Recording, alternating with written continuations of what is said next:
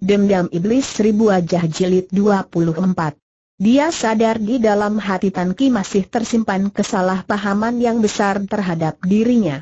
Apabila dia sampai melihat ibunya juga ada di dalam kamar itu, apa yang terlintas di benaknya?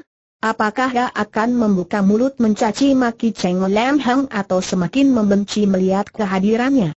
Tentu saja, semua ini ada kemungkinannya. Oleh karena itu, Perlahan-lahan dia meninggalkan kamar itu dan menghindarkan diri dari pandangan Tan Ki orang tua di kolong langit ini, mana ada yang tidak mencintai anaknya sendiri.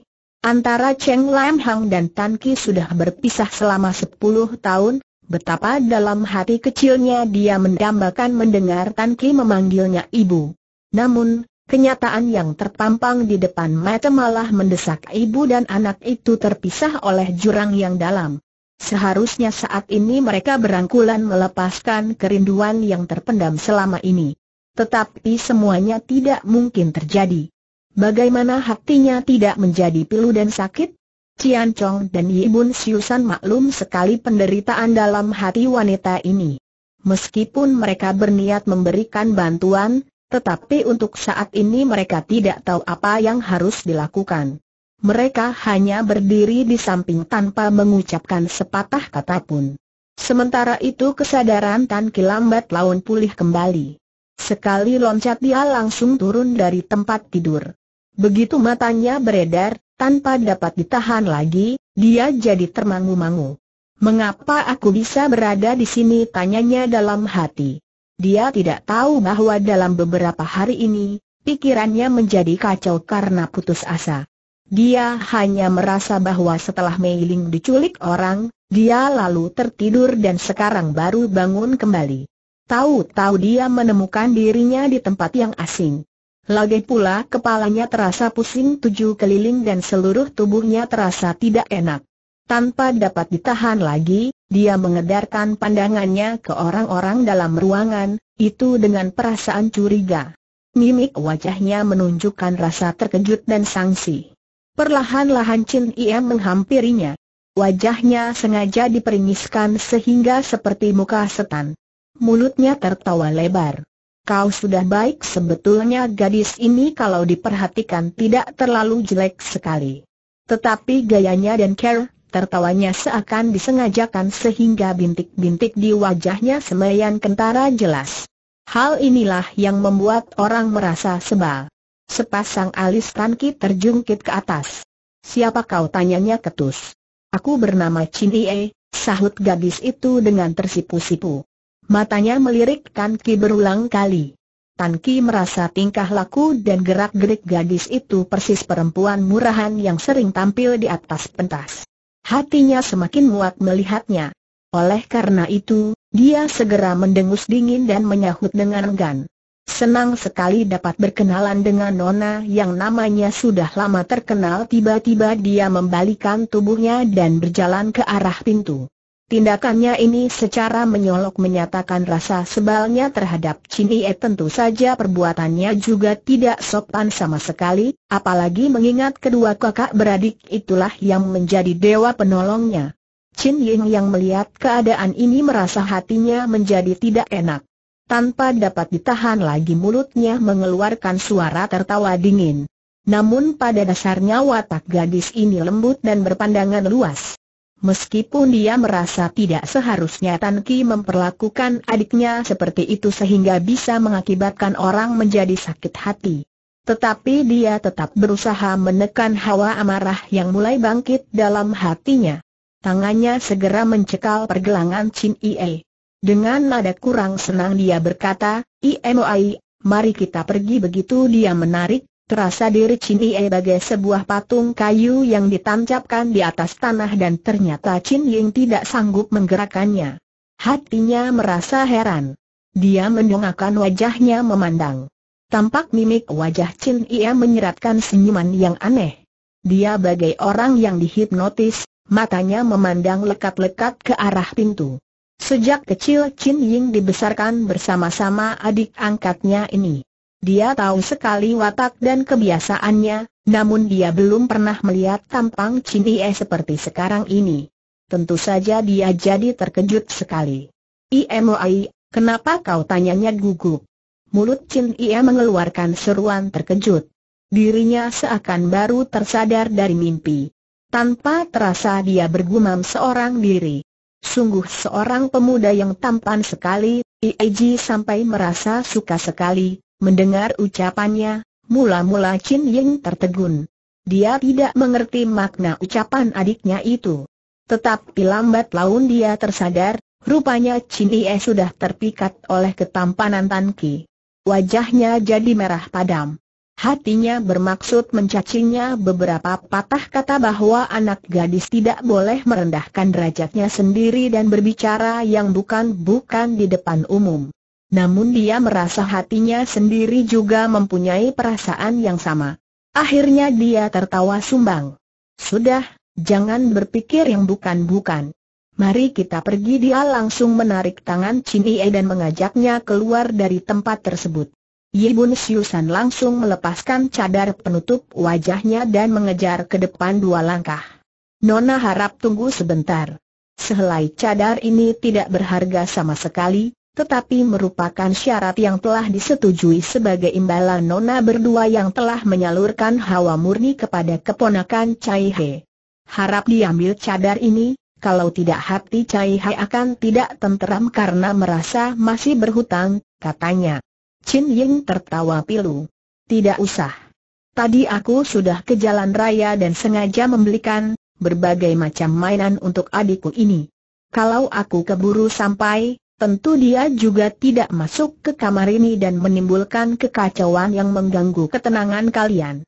Harap Lopek simpan saja cadar itu. Kami kakak beradik tidak menginginkannya lagi, selesai berkata, tubuh kedua gadis itu tepat sudah berada di depan pintu. Mereka langsung membelok dan hilang dari pandangan. Yibun Siusan memperhatikan bayangan punggung kedua gadis itu sampai tidak kelihatan lagi.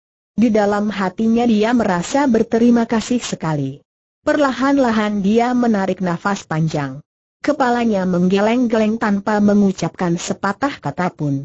Dia sudah melihat ilmu silat Chin tampaknya tidak sama dengan ilmu silat yang ada di daerah Tionggoan. Dalam hatinya timbul kecurigaan. Dia mulai yakin kalau kedua kakak beradik itu apabila bukan berasal dari samudra luar, pasti merupakan keturunan suku Biao dari wilayah barat. Kemungkinan tujuan mereka datang ke Tionggoan adalah untuk menyelidiki gerak-gerik para tokoh bulim saat ini dan kalau keadaan memungkinkan, mereka akan menyerbu masuk ke daerah Kang Lem. Tetapi demi keselamatan Tan Ki, mau tidak mau dia harus melepaskan kesempatan menyelidiki bukti yang sudah ada ini. Melihat kakak beradik itu pergi dalam situasi yang kurang menyenangkan, dia hanya bisa menarik nafas panjang. Hatinya terasa kalut. Sementara itu, setelah kembali ke kamarnya, tiba-tiba Chin Ying merasa hatinya dilanda kehampaan yang aneh. Dadanya terasa sesak seperti orang yang kekurangan udara. Dia seperti tidak mempunyai gairah terhadap segala sesuatu. Rupanya dia memang dibesarkan di samudera luar dan yang sering didengar ataupun ditemuinya hanya serangkaian pembunuhan dan pertarungan. Wajah setiap orang, Mungkin karena pengaruh wilayah dan situasinya, hampir semuanya bertubuh tinggi besar dan tampangnya garang. Penduduk di wilayah itu juga sangat kasar. Mana ada pemuda yang gagah dan tampan seperti Tan Ki. Bahkan seujung jarinya pun tidak. Oleh karena itu begitu melihat anak muda tersebut, hatinya sudah terpikat oleh kegagahan dan ketampanannya. Dengan enggan dia duduk di atas kursi dan langsung termenung lesu. Untuk sesaat, pikirannya melayang-layang. Duduk salah berdiri pun salah. Tetapi dia sendiri tidak mengerti apa sebetulnya yang ia pikirkan. Tiba-tiba dia merasa pundaknya ditepuk oleh seseorang, lalu terdengar suara Chin Ie yang sedang tertawa terkekeh-kekeh. Toachi, coba kau lihat sebentar hati Chin Ying memang sedang kalut. Dia berharap dapat menenangkan diri beberapa saat. Ditepuk oleh Chin Ie, dengan acuh tak acuh dia bertanya, lihat apa terhadap adik angkatnya ini, Chin Ia merasa sayang sekali. Meskipun kata-kata yang terucap dari bibirnya agak ketus, Tetapi dengan perasaan tidak tega dia menoleh juga dan melihat ke arahnya sekilas. Begitu matanya memandang, dia melihat pakaian Chin Ie yang berwarna hijau sudah dikutungkan bagian lengannya. Untuk sesaat dia sangat terpukau. Dengan heran dia bertanya, apa yang kau lakukan? Pakaian yang bagus-bagus kok digunting sampai begitu Chin Ie menggigit bibirnya sendiri. Pakaian ini sudah terlalu pendek, tidak enak dipakai lagi, Chin Ying tersenyum. Kalau begitu, malam nanti kalau kita keluar, kita beli lagi beberapa setel pakaian yang sesuai untukmu, tampak Chin Ying agak sangsi. Tetapi, malam hari kalau sedang tidur, hatiku sering merasa dingin, beberapa hari ini udara memang agak dingin. Mungkin pakaian tidurmu terlalu tipis atau kau lupa memakai selimut, Meskipun memakai selimut memang terasa hangat, tetapi tidak dapat menghangatkan hatiku, Chin Ying jadi tertegun mendengar ucapannya. Apa maksudmu Cici, apakah kau tidak mengerti ucapanku? Malam hari aku tidur sendirian, sering aku merasa takut, seperti ada bayangan setan yang terus bergerak di depan jendela, sejak kecil kita sama-sama sudah terbiasa tidur sendiri-sendiri. Kenapa baru sekarang kau merasa takut Chin Ying menghentikan kata-katanya kemudian tersenyum lembut. Baiklah, malam nanti Cici akan menemanimu, setelah berkata panjang lebar, tampaknya Chin Ying masih juga belum menangkap maksud ucapannya, Chin Ying menjadi kesal sekali. Dia menghentak-hentakan kakinya di atas tanah. Siapa yang kepingin kau temani melihat tingkah lakunya, Chin Ying mulai marah. Namun dia sadar bahwa adik angkatnya ini tidak boleh dikerasi. Setelah tertegun sejenak, dia segera mendorong meja dan berdiri. IMOI, jangan pergi. Sebetulnya ada apa sembari berkata, langkahnya dipercepat untuk mengejar adiknya yang sudah bermaksud keluar dari kamar. Dia segera menarik tangan gadis itu. Untuk apa kau melakukan hal ini? Lihat saja, belum apa-apa sudah tersinggung, Cici sampai bingung kau buat, berkata sampai di sini, tiba-tiba sebuah ingatan melintas di benaknya. Mulutnya langsung mengeluarkan seruan terkejut, kemudian tertawa lebar. Aku tahu deh, rupanya kau sudah ingin mencari seorang suami, bukan? Mungkin sudah sejak lama ada yang ditaksir. Cepat katakan kepadaku, siapa orang itu Cini tersenyum simpul, Pemuda yang ada di sebelah kamar itu sahut gadis itu dengan santai. Mendengar ucapannya, hati Chin Ying tergetar. Rupanya orang yang ditaksir Chin Ye justru Tan Ki orangnya. Mimpi pun dia tidak pernah membayangkan hal itu. Rasa terkejutnya tidak kepalang tanggung. Mana mungkin hal ini terjadi? Meskipun kita sudah pernah bertemu satu kali, tetapi kita tidak saling mengenal, apalagi menjalin persahabatan. Lagi pula dia adalah seorang pemuda yang begitu tampan. Tampaknya Chin Ie sendiri juga menyadari kekurangannya. Mendengar ucapan kakaknya, harapan yang baru berkembang seakan kandas seketika. Dia merasa kecewa sekali. Padahal dia adalah seorang gadis yang masih polos. Namun begitu mengetahui bahwa dia tidak mempunyai harapan sedikit pun, dua baris air matanya segera jatuh bercucuran membasahi pipi. Meskipun wajahnya tidak dapat dikatakan cantik karena penuh dengan bintik-bintik hitam, namun air mata yang menetes justru sangat berkilauan serta keluar dengan perasaan yang tulus. Sungguh air mata yang tidak bernilai harganya. Apa sebetulnya yang tersirat di balik air mata itu? Tidak ada. Yang dapat dinyatakan hanya hatinya yang masih bersih. Melihat air mata adiknya mengalir dengan deras, Hati Chin Ying langsung terasa perih. Dia juga terharu melihat kemalangan nasib gadis itu. Hampir belasan tahun sudah, baru kali ini dia melihat lagi air mata yang tulus dan berharga ini. Bayangan masa lalu, seakan terpampang dalam air mata yang terus mengalir itu. Satu per satu melintas dalam benaknya. Dia teringat masa kecilnya ketika terombang ambing di tengah lautan, Untung saja dia ditemukan oleh seorang ketua suku pedalaman yang berilmu sangat tinggi yakni Cui Seng Sin Heng alias bayangan dewa di atas air cintong. Akhirnya dia ditolong bahkan dijadikan putri angkatnya. dia teringat senyuman Cintong serta nada suaranya yang menggeledek serta kasih sayang yang penuh perhatian. Lagi pula caranya melakukan apa pun terhadap kedua putrinya selalu disamakan dan tidak pernah dibedakan. Dia membiarkan keduanya bermain bersama dia juga mengajarkan ilmu silat tanpa memilih bulu. Justru pada saat dia berusia 12 tahun, Chin Ying dan Chin Ie sedang berlatih dan menjajal kepandaian mereka. AKH, dia ingat hari itu merupakan hari yang paling menyayat hati dalam hidupnya. Sekarang pun dia masih mengingat dengan jelas, Justru jurus Hui Hong Choan Leong atau harimau terbang berubah menjadi naga itulah yang digunakannya ketika berlatih. Tanpa sengaja pukulannya menghantam belakang kepala Chin Ie.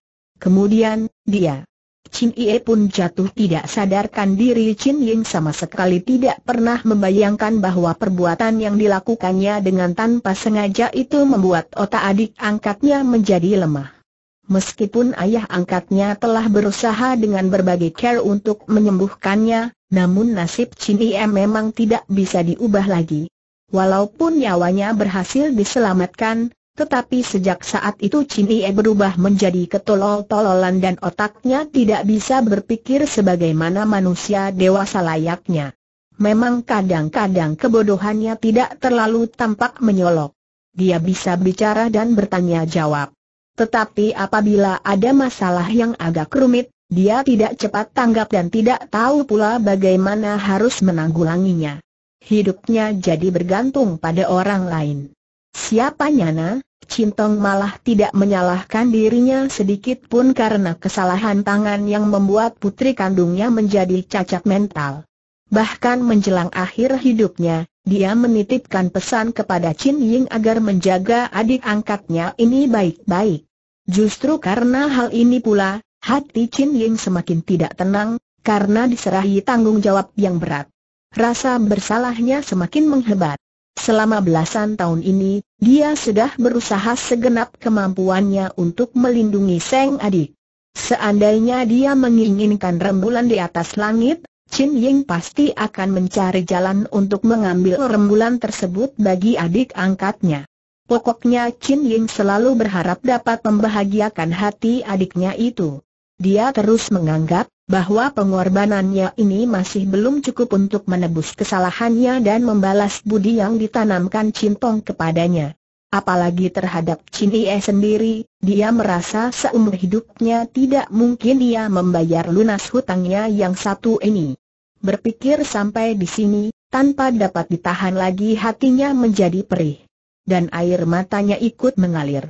Perlahan-lahan dia mengangkat tangannya dan mengusap air mata adiknya yang masih menetes. Baiklah, Cici Akari berusaha sekuat tenaga. Kalau Tan Siang Kong itu tidak menghendaki dirimu, meskipun harus memaksanya dengan perkelahian, aku juga akan mencobanya, Selesai berkata, dia berusaha membangkitkan keberanian dalam hatinya sendiri. Tangannya segera menepuk-nepuk pundak Chin Ie. Kau keluarlah ke jalan raya dan main-main di sana. Aku akan mendengar nada bicara mereka, baru mengambil tindakan yang terbaik. Mendengar perkataannya, Chin Ie segera mengusap air matanya dan wajahnya jadi berseri-seri seketika. Selamanya dia percaya sekali kepada Chin Ying. Dia tahu kakaknya ini sangat cerdas dan banyak akalnya. Meski menghadapi persoalan yang bagaimana beratnya, dia pasti bisa melepaskan diri dari bahaya dan menyelesaikannya dengan baik. Apalagi kalau sudah berjanji, dia tidak pernah mengingkarinya. Oleh karena itu, dia segera menganggukkan kepalanya berkali-kali. Aku akan menurut perkataan Cici dan bermain ke jalan raya. Kalau sudah ada kabar berita, harap cepat-cepat beritahu aku, sambil berkata, kedua kakak beradik itu jalan berdampingan keluar dari kamar. Namun perasaan hati keduanya berbeda. Chin Ia merasa bahagia sekali dan bibirnya terus tersenyum. Sedangkan sepasang alis Chin Ying terus bertaut dengan erat dan hatinya kacau. Sebetulnya, dia sadar sekali tingkah laku Tan Ki yang sudah terang-terangan menyatakan rasa sebalnya terhadap Chin Ie. Agaknya harapan mereka dapat menjadi pasangan yang harmonis terasa mustahil. Tetapi dirinya terus merasa berhutang kepada Chin Ie. Apabila dia sampai tidak berhasil menyempurnakan niat hatinya, Chin Ying semakin tidak tenang. Itulah sebabnya dia tetap mencoba meskipun tidak yakin akan berhasil dengan perasaan gembira, Chin Ie berjalan-jalan keluar. Ke mana pun matanya memandang, dia selalu melihat orang banyak hilir mudik. Semua yang tertatap olehnya selalu pemandangan yang menyegarkan. Hal ini membuat perasaannya senang bukan kepalang. Tanpa tujuan yang pasti dia terus melangkah. Secara berturut-turut dia telah melalui tiga jalan besar, sampailah dia di depan sebuah toko yang menjual barang-barang antik. Justru ketika dia sedang menikmati keindahan barang-barang antik dari luar toko itu, tiba-tiba matanya menangkap seraut wajah yang tidak asing lagi. Orang itu melewatinya. Tanpa dapat ditahan lagi, kepalanya menoleh untuk memperhatikan sejenak.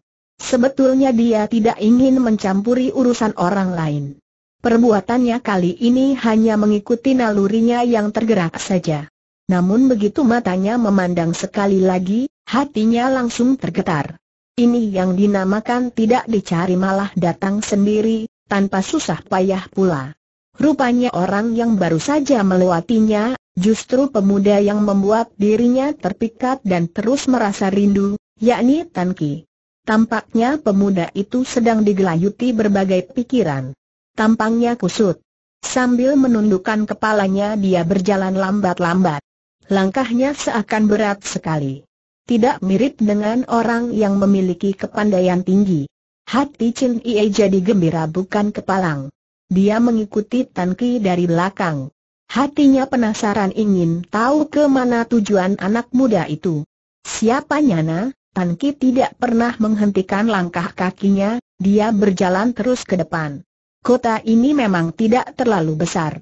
Dalam waktu kurang lebih sepenanakan nasi, mereka sudah keluar dari perbatasan kota.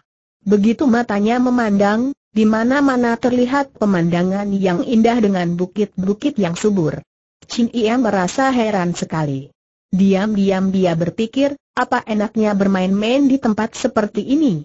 Untuk apa sebetulnya dia datang ke sini tiba-tiba? Tampak dua sosok bayangan menghambur ke arah mereka. Kecepatannya bagai anak panah yang menyambar. Dalam sekejap mata sudah tiba di hadapan mereka.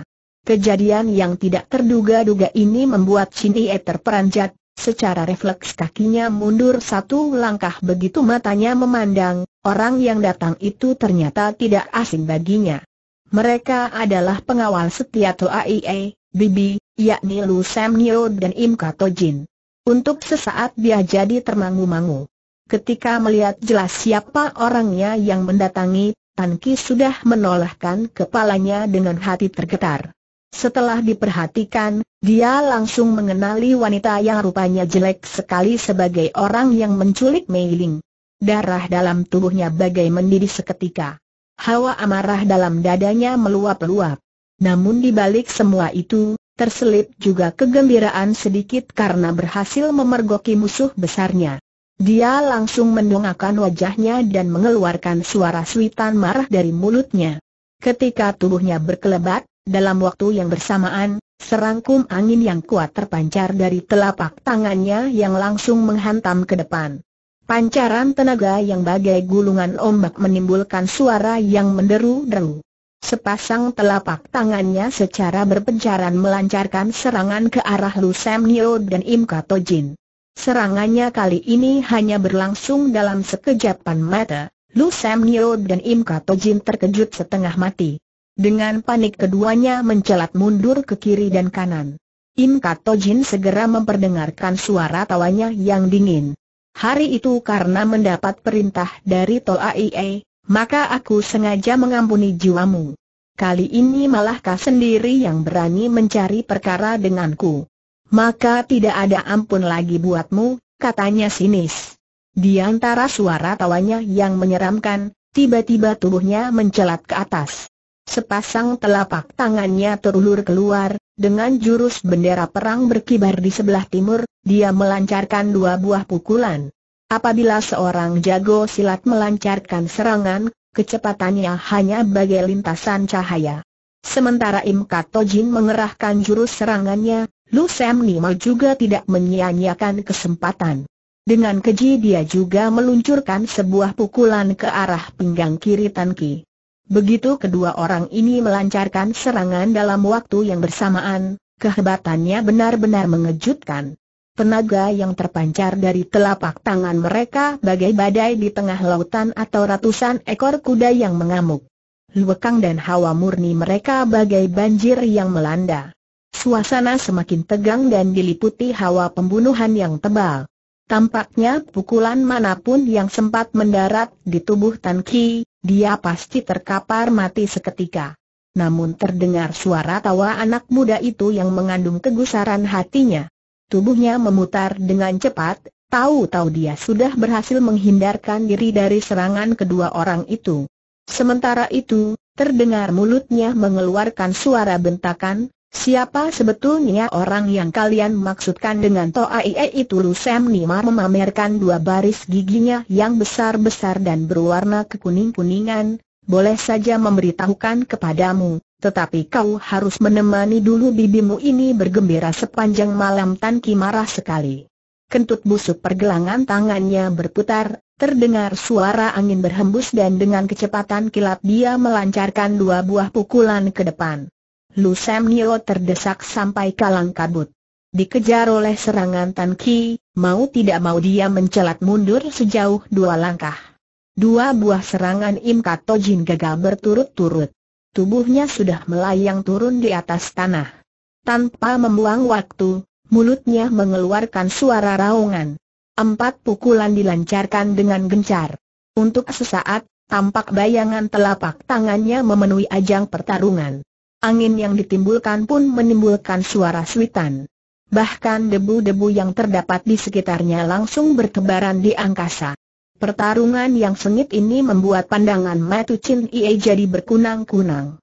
Setelah sepuluh kali gebrakan lebih, dia sudah tidak dapat membedakan lagi mana para pelindung Toa Ie-nya dan mana diri pemuda pujaannya. Meskipun ilmu silat Tan Ki merupakan ilmu andalan para leluhur Ti Chiang Pang, tapi apabila dia ingin meringkus kedua orang itu dalam waktu yang singkat, juga bukan merupakan hal yang mudah. Kurang lebih sepenanakan nasi kemudian, pertarungan di antara ketiga orang itu sudah mengalami banyak perubahan. Tampaknya puncak pertarungan itu sudah hampir dicapai. Suara bentakan dan deruan angin yang terpancar dari pukulan mereka masih terus terdengar. Sementara itu, hawa pembunuhan yang memenuhi sekitar tempat itu malah tambah berlipat ganda. Tampak daya serang Lu Sam dan Im Kato Jin semakin lama semakin melemah. Tan Ki malah berkelahi seperti orang kalap, serangannya semakin lama semakin keji. Tenaga dalam yang dilancarkan hampir menggunakan segenap kekuatannya. Chin Ie tahu betul sampai di mana tingginya ilmu tenaga dalam Lu Sam dan Im Kato Jin, tetapi melihat bahwa dengan bergabung pun kedua orang itu tidak sanggup meringkus Tan Ki, hatinya menjadi khawatir. Di samping itu dia juga merasa kagum sekali terhadap ilmu silat anak muda itu. Tiba-tiba terdengar suara bentakan keras dari mulut Tan Ki, dengan jurus menguat gunung meretakan tanah, dia menyerang secara gencar ke arah Im Kato Jin. Serangan ini dilancarkan dengan tenaga sepenuhnya. Sedangkan keadaan Im Kato Jin sudah kelelahan, dia hanya dapat melawan dengan kekuatan terakhir. Begitu serangan Tan Ki yang keji ini dilancarkan, kekuatannya dahsyat bukan main. Bagai gelombang ombak yang bergulung-gulung melanda ke depan. Sama sekali tidak dapat dianggap enteng Im Kato Jin menggertakkan giginya erat-erat.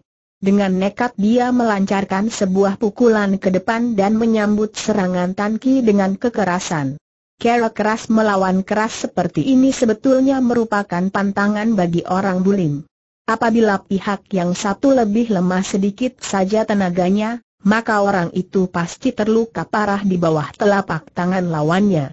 Tetapi karena pukulan yang dilancarkan Im Katojin dikeluarkan dalam keadaan terpaksa, maka cara keras lawan keras yang berlangsung saat ini, apabila tidak sampai mencabut nyawanya, maka paling tidak dia akan terluka parah.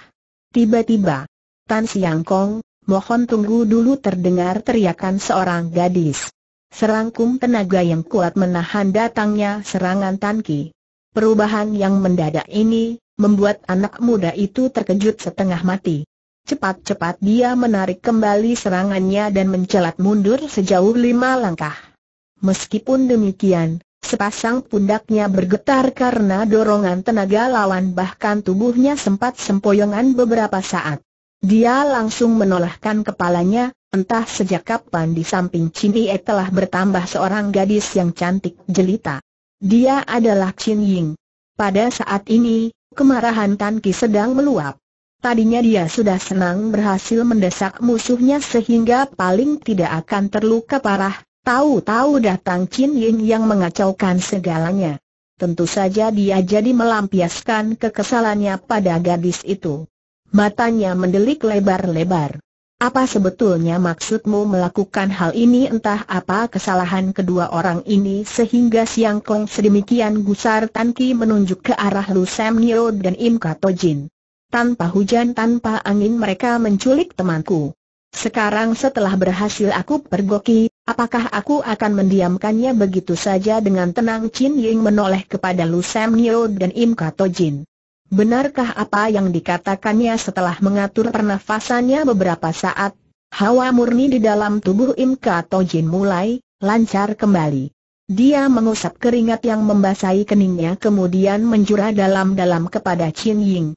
Urusan ini sebetulnya hamba hanya mendapat perintah dari Toa Ie, sama sekali bukan niat hati hamba sendiri, Oh Chin Ying mengibaskan tangannya. Baiklah, di sini tidak ada urusan kalian lagi, pergilah, katanya kemudian. Im Kato Jin tidak segera mengundurkan diri. Tampaknya hatinya masih bimbang. Perlahan-lahan dia memberanikan dirinya menyahut, hamba menerima surat perintah, Kali ini sengaja datang untuk menemui Nona berdua, tampaknya dia sangat takut kepada Chin Ying. Care bicaranya juga tersendat-sendat. Chin Ying tertawa dingin. Pasti surat yang dikirim lewat merpati pos oleh Toa Ia kalian yang isinya perintah inilah, itulah, dia berhenti sejenak. Baiklah, kalian pergi ke kota di depan sana dan tunggu aku di rumah penginapan layan, Im Katojin dan Lu Sam Nio segera mengiyakan. Setelah menjura satu kali, keduanya segera membalikan tubuh dan berlari pergi. Sementara itu, terdengar Tan Ki mengeluarkan suara tertawa yang dingin sekali, tubuhnya melesat ke depan dan tahu-tahu dia sudah menghadang jalan pergi kedua orang itu. Mau kabur? Tidak begitu mudah terasa angin berhembus, sebuah pukulan langsung diarahkan kepada Lu Sam Niu.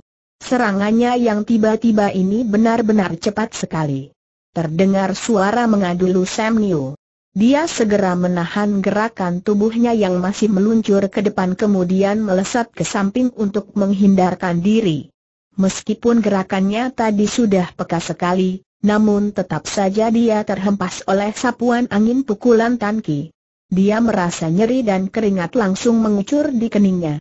Tanki merasa benci bukan kepalang kepada kedua orang ini dianggapnya mereka yang menghancurkan impian indahnya karena menculik Mei Ling.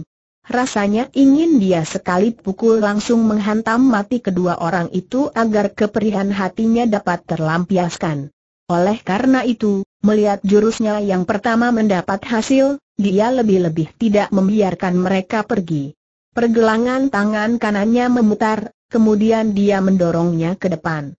Serangkum angin yang kencang terpancar dari pukulannya yang mengincar bagian dada Im Katojin yang mematikan. Im Katojin melihat Lu Sam Nio tiba-tiba diserang, memang langsung bersiap sedia. Begitu Tan Kim meluncurkan serangan kepadanya, dia langsung mencelat mundur sejauh lima mistar. Tan Ki tertawa dingin. Di wajahnya yang tampan mulai tersirat hawa pembunuhan. Baru saja dia berniat mengerahkan Tian Si Bamsud yang hebat dan membunuh musuhnya agar kekesalannya terlampiaskan. Tiba-tiba, hidungnya mengendus bau yang harum lewat di depannya. Rupanya Chin Ying sudah melesat di hadapannya. Bibirnya tersenyum. Harap Siang Kong mengalah untuk sementara, biarkanlah mereka pergi. Nanti kalau urusan sudah terbukti, kau cari lagi mereka masih belum terlambat, katanya. Sepasang mata, Tan Ki memancarkan warna kemerahan, dia mendelik kepada Chin Ying lebar-lebar, bertemu dengan musuh, kalau tidak dibunuh tentu keenakan. Kalau kau suruh mereka pergi begitu saja, lain kali apabila berdiri di dunia bulim, aku tidak berani mengangkat wajahku, lagi, jangan khawatir, mereka tidak bisa kabur ke mana-mana kau berani menjamin Chin Ying tertawa lebar. Aku berani mempertaruhkan sepasang lengan ini sebagai jaminan dia berhenti sejenak, Seolah ada ribuan kata di dalam hatinya yang tidak berani ia cetuskan. Dia menundukkan kepalanya beberapa saat dan merenung. Akhirnya dia menggigit bibirnya sendiri dan memberanikan dirinya untuk berkata, lagi pula, aku masih ada permintaan yang ingin kuharapkan darimu, mana mungkin aku mengingkari ucapanku sendiri urusan apa tanya Tan Ki. Chin Ying menolehkan kepalanya melihat Seng adik. Chin Ie sedang berdiri menghadap ke arah angin, pakaiannya berkibar-kibar. Dia sedang menatap Tan Ki dengan termangu-mangu. Bibirnya tersenyum simpul. Sinar matanya bagai rembulan yang lembut atau bintang-bintang yang bertaburan di langit. Pokoknya ada semacam cahaya yang aneh terpancar dari sepasang bola matanya. Tanpa sadar Chin Ying menarik nafas panjang. Ketika Siang Kong keluar tadi, Aku sudah berbicara panjang lebar tentang dirimu dengan Paman Yibunmu. Kekasih diculik, ayah mati dengan cara yang mengenaskan, semuanya aku sudah tahu. Mendengar nada bicara Paman Yibun dan Cian Lo Cian Pual, di depan mata para pendekar sedang berkumpul dan di lok yang akan diadakan pertemuan besar yang mana akan dipilih seorang Bengcu. Mereka mengharapkan agar kau berusaha sekuat tenaga merebut kedudukan Bengcu tersebut. Kecuali dendam pribadi, sekarang Tan Siang Kong ditambahi sebuah beban yang lain. Semuanya belum tentu dapat terselesaikan sekaligus. Apabila merebut kedudukan Beng Chu saja sudah merupakan hal yang sulit, apalagi membicarakan soal balas dendam segala macam, Tan Ki tertawa dingin. Lalu, kalau menurut pendapatmu, apa yang harus aku lakukan Chin Ying merenung sejenak. Aku tahu dalam hati Siang Kong sudah ada tambatan hati, yakni seorang gadis yang cantik rupawan. Sedangkan rupa adik Ieku ini, tentu sulit mendapat tempat di hatimu. Tetapi entah mengapa, sejak melihat Siang Kong, dia langsung jatuh hati, perasaan simpati atau tertarik antara pria dan wanita harus terungkap dari kedua pihak. Kalau dia sendiri yang terpikat kepadaku, apa urusannya dengan diriku ini nada bicaranya sungguh dingin. Perlahan-lahan Chin Ying menarik nafas panjang. Biar bagaimana dinginnya sikap Tan Ki terhadap dirinya, dia tetap tidak peduli, sekarang ini aku tidak ada keinginan apa-apa. Hanya berharap gadis pujaan Siang Kong itu berhati lapang dan bersedia membagi rasa dengan menyisakan sedikit sudut hati Siang Kong untuk ditempati adik Ieku ini. Dengan demikian aku sudah merasa berterima kasih sekali, ucapan Nona benar-benar membuat orang terkejut. Namun sayang sekali aku tidak dapat mengabulkannya, Chin Ying dapat mendengar nada suaranya yang tajam dan tegas. Dia menolak secara terang-terangan. Tiba-tiba hatinya terasa perih. Air matanya mengalir dengan deras. Akhirnya dia tertawa sumbang dan berusaha untuk tidak berputus asa. Tan Siang Kong adalah seorang pemuda yang tampan dan gagah, tidak dapat disalahkan apabila memandang rendah adikku. Tetapi apakah kau pernah membayangkan, apabila adik Ieku tidak mendapat perhatianmu sedikit saja, mungkin dari bodoh dia malah menjadi gila. Atau, Mungkin dia bisa bunuh diri, ucapannya belum selesai, dua baris air mata sudah mengalir kembali membasahi pipinya. Ucapannya barusan benar-benar mengenai tepat penyakit jiwa Tanki. Dia teringat dirinya sendiri juga menjadi kalap bahkan hampir gila karena mengetahui Mailing diculik orang. Tanpa dapat ditahan lagi hatinya tercekat, tubuhnya menggigil, bulu kuduknya seakan meremang semua. Nada bicaranya yang dingin dan ketus langsung menyurup jauh.